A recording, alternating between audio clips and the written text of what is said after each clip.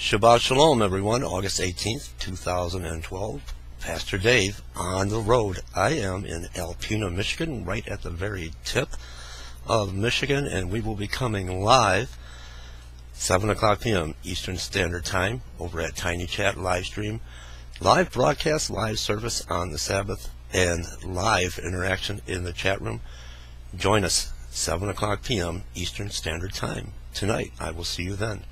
Yah bless.